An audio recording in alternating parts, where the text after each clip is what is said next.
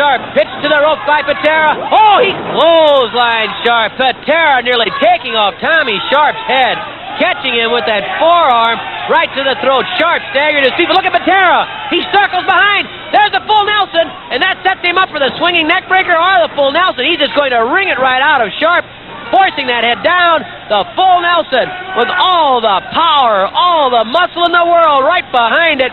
Patera jamming that neck down and Sharpe submits Missouri state champion Ken Patera with the full Nelson. The full Nelson proving the difference and Patera's might. What a weapon. What a weapon that power is. Let's hear from Mickey.